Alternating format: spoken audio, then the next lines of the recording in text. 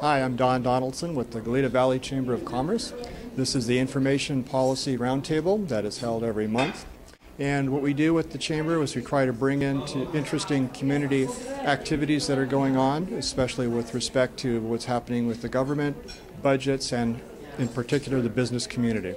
I know redevelopment's on the minds of a lot of us, and uh, four of us were up in um, Sacramento on Monday, but I'm going to leave that part of the program to Vyto to talk about.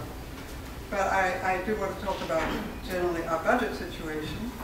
And while our city is not in terrible shape, we're not facing a disaster situation, but we have crimped for the last couple of years, and we're likely to have to pinch some more for two more years. Mean, last year we, we did cut uh, a detective, so we pulled back on law enforcement, which is always a hard thing to do. And, um, and, and we're looking at the sheriff's contract, but we don't know what it's going to be like in this coming year.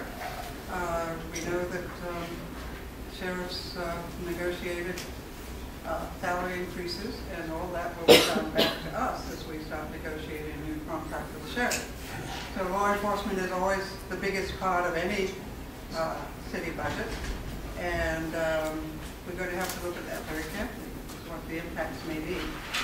Uh, one thing that I believe we can say is now complete is the general plan. And this is something that has been worked on for all the years that uh, the city's been in existence and has been contentious along the way, including with some of you in this room. Uh, but now I believe we have it packaged. We don't have the final imprimatur on our housing element yet. That's the one thing that the state has to seal off on. Um, well, they don't have to seal off on it, but it helps if they do.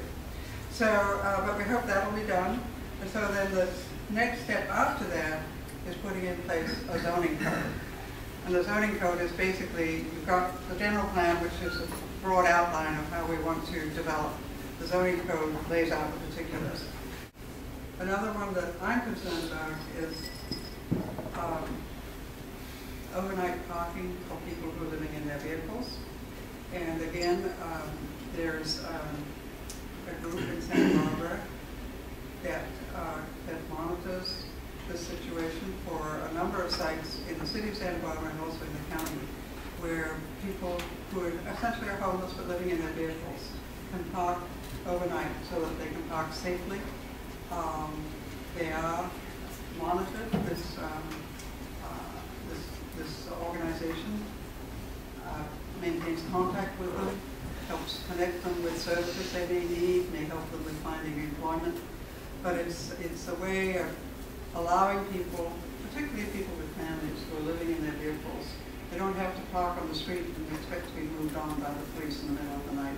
Uh, my uh, brief presentation today to you is a little bit about uh, the city's redevelopment agency and some of the projects that we have undertaken here in the community. And also I wanted to share with you a uh, recent uh, proposal from Governor Brown. San Jose Creek removes the flood threat from Old Town.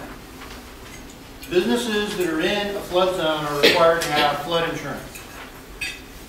And as you know, when you have flood insurance and you're in a flood zone, when you go to apply for loans, um, there's an issue.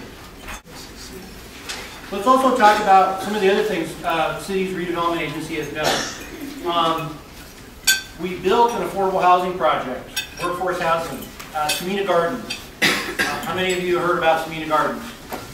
This is great news. We're very pleased with Sumida Gardens. This is a project that received financial assistance from the redevelopment agency to happen. And let me tell you what happened. Many of you remember what was there before. It was the uh, Sumida Nursery.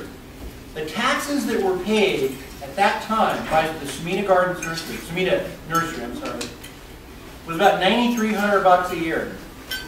Okay?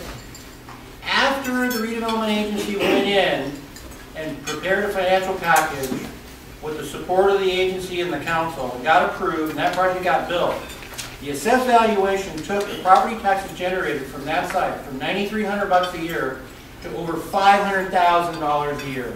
That's resources and revenues coming directly into the city to be spent and invested here locally. That's a pretty big chunk of money in today's economy. Um, we've also helped people who live in existing homes. Um, 37 homeowners here in the city of Goleta have received assistance in the form of grants to conduct repairs to their home that they weren't able to afford.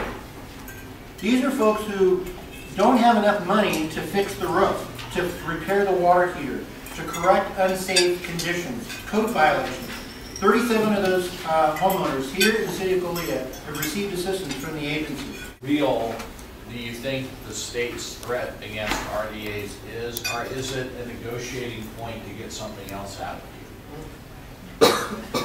Well, that's the Especially twenty-five thousand dollar question.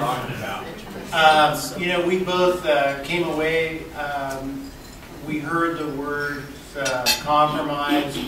Um, We've heard uh, the importance of RDAs. It's hard to determine right now, because the cannon's pointed at redevelopment agencies, where, where the ultimate goal is. Uh, Last year, you know, the state rated redevelopment agencies to the tune of a billion dollars, two billion over two years. Uh, Prop 22 passed, said, hey, stop doing that. So it's a little bit difficult. There's also a constitutional issue, wave of lawsuits.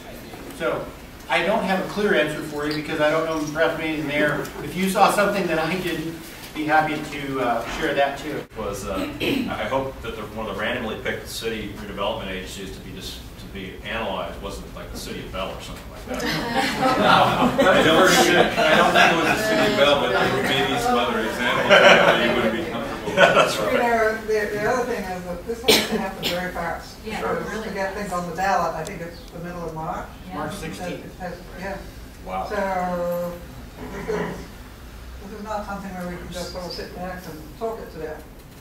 We've got to start Just, just a, just a quick factoid, the governor's budget, which we've had opportunity to analyze and review internally, uh, assumes the continuation of five tax measures, which will be, also be on the ballot for renewal.